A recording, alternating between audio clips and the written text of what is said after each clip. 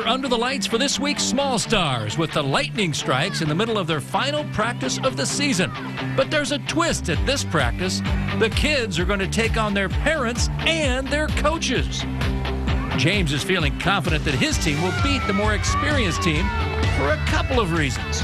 Because we're younger than them. And we are and they're weak. Game on, and here comes the lightning strikes. And on this play, the parents don't have a chance. Natalie and Elijah bring it into their zone, and Hayden puts it in the net. What a play, Hayden! And how about that celebration? I'd say scoring that goal was quite a thrill.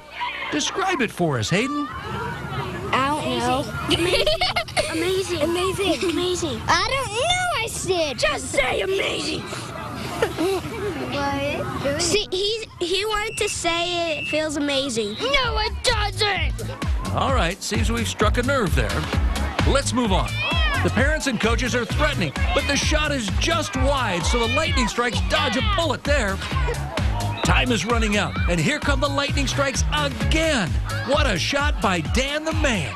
Bring up another goal for the lightning strikes and the win.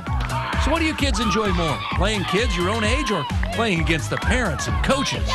Playing against um, parents and coaches. It's fun playing against the older people. Because when if you're big, you go slower, and they were slow. They were slow, and so we got a lot of goals. I usually play with harder kids, but this was a lot of fun. I agree. These kids do rule, and dare we say the parents drool? Congrats, Lightning Strikes. You're this week's Small Star. And if you know of a small star we should highlight here on ABC 15, just visit our website, abc15.com. Yeah.